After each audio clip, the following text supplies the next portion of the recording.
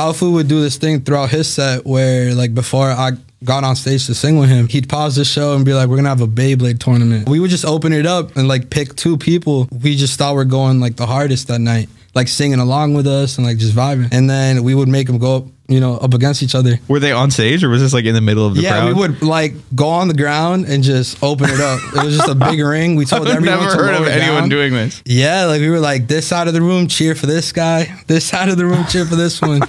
And we were just like, let it rip. We played the song. I don't know, it was just dope. Powfu ended up getting like a partnership with Beyblade out of it too. no way. Yeah, it was pretty fire. That's awesome, dude.